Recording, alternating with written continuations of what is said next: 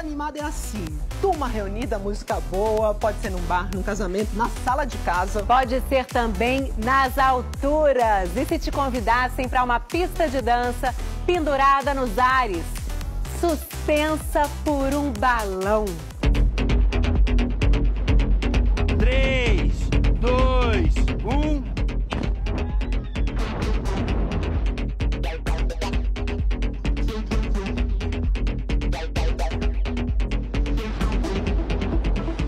Falei, pai Zé que eu não ia chorar. Mas não dá, cara.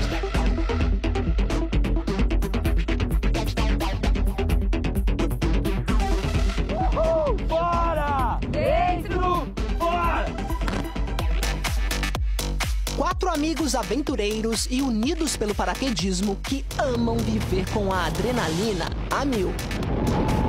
Eu ligo pra eles toda semana. Galera, e se? Eles, Paulo, para que a gente já tem mais umas quatro, cinco pra fazer. Não, mas só escuta. Tá, agora a gente tem seis. A gente sempre precisa de algo a mais. É muito massa. E o- a sensação do salto é outra, né?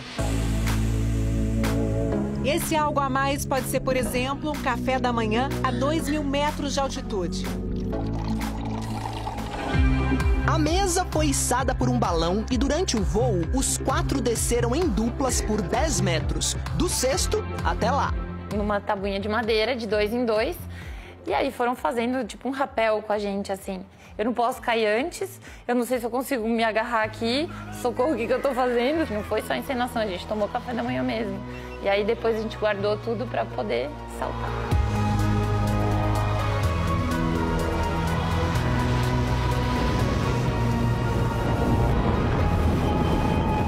Da manhã no céu de Santa Catarina foi um sucesso e um estopim para uma nova ideia do grupo. E a primeira ideia que, que a gente teve foi, ok, a gente tem que fazer alguma coisa relacionada à música. Nascia a Festa nas Alturas. Foram sete meses planejando a aventura, que incluía a construção de uma plataforma que servisse de pista de dança para ser carregada pelo balão. Ela precisava ser segura, mas ao mesmo tempo ser estética. Madrugada de 17 de maio. Praia Grande, também em Santa Catarina. Eram os quatro e mais cinco convidados, todos paraquedistas também. Uma parte subiria no cesto do balão e outra já sairia da plataforma. Na hora que o balão tava começando a subir, cada vez que a gente subia na plataforma, uma pessoa a mais, o balão descia de novo. Aí subia um, desceu, desce, desce da plataforma, aí pum, começou a subir, sobe. E aquele sobe e desce da plataforma começou a dar aquela ansiedade e de repente foi, subiu e depois. Havia ainda uma outra ameaça. O equipamento que usariam para descer do cesto para a pista estava danificado. A gente viu que a madeira tinha quebrado num, num jeito que a gente conseguiria ainda descer. E aí A aí gente ia começou- descer de dois em dois, né? É, Aí passou e a aí- ser de um em um. Quando a gente desceu de um em um, aconteceu de não ter esse contrapeso, né? Então a gente ficava de lado, assim, pra baixo, fazendo muita força. Tá bem em cima da mesa. Calma, calma, segura um pouco. Segura! Deu boa, deu boa, deu boa, deu boa, pode descer. E detalhe, a gente estava fazendo isso tudo à noite. Segura! O cara que tá soltando eles lá em cima, ele não tá vendo se tá chegando ou não. Então ele vinha numa velocidade, dava uma despencada e a probabilidade de, nessa descida jogar pra cima da mesa era grande. Então a gente tinha que ficar ali se segurando pra não cair. Mas deu tudo certo. Nove pessoas na plataforma. Era noite de festa, só não dava para se soltar muito. Era uma dancinha mais contida, mais controlada, assim, não dava pra ficar pulando, né? Era mais um, né, vamos aí, não, Não balança muito, mostrar senão todo o vai cair alguém. gingado, assim, sabe? O balão percorreu uma distância de 40 quilômetros até o momento do salto, já no amanhecer.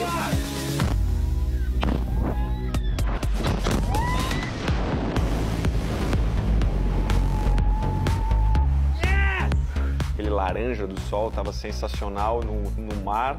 Aí no outro lado estavam os meus amigos com uma festa e música e luzes. As famílias deles acompanhavam tudo de um outro balão. E a notícia sobre o sucesso da aventura foi recebida com alívio. E uma pessoa desavisada ou falou pra nossa mãe que era uma loucura fazer isso ali porque ia jogar pra dentro do mar. Aí, aí elas, aí, aí a oração Aí elas- pegou forte. aí a oração Virou um pegou forte. Ai, eu rezei Eu acho que elas estavam querendo conter as emoções, é, uma benzendo, outra rezando. Tinha muita oração de mãe, então tava, a gente estava muito protegidos lá. Todo mundo sentado ao redor da, da, da, plataforma, balançando os pés, olhando aquele o sol que já estava saindo. Foi o melhor after que eu já fiz na vida depois de uma, depois de uma festa.